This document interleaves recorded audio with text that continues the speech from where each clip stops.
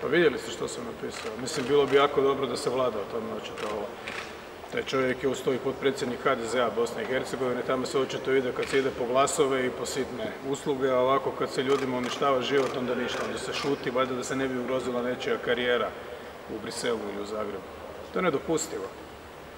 Već šest godina je na snazi odluka Ustavnog suda Bosne i Hercegovine kojom se nalaže da se nepravde i pogrešne stvari isprave i da se zaustavi taj, taj, taj ciklus potkradanja Hrvata, sad već to prelazi i u gaženje i u ne samo u potkradanje i da im se omogući da kao i preostala dva konstitutivna naroda sami biraju svoje predstavnike, a ne da to za njih pod krinkom rade Bošnjaci. To je tako, to se događa, postoji presuda Ustavnog suda Bosne i Hercegovine, da sad ovdje ne citiram. Dakle, ona je na snazi taman toliko koliko je Plenković premijer i predsjednik HDZ-a. Ništa nisu napravili.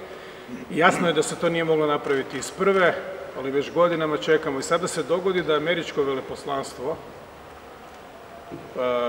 to dojavi ili da potkaže nekakvom ministarstvu u Washingtonu, konkretno Treasury, dakle to je, i onda tamo, i onda u okviru ministarstva financija ako sam to dobro zapamtio, a mislim da jesam, nekakav pomoćnik e, tajnika za financije koji se bavi terorizmom i pranjem novca, dakle prokazuje Marinka Čavaru, predsjednika federacije i potpredsjednika Plenkovićeve stranke HDZ-a, da se ponaša etnocentrički. Šta to znači? Je to postao krimen?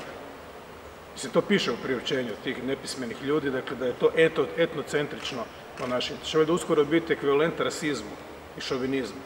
Čovjek se ponaša kao predstavnik ljudi koji su ga izabrali, to su Hrvati u ovom slučaju. To nije dobro uređena država, ali je tako. I sad šta na to radi hrvatska vlada šuti? Kakva je to poruka Hrvatima u Bosni i Hercegovini zastrašujuća? Dakle, uz takve saveznike svaka čast.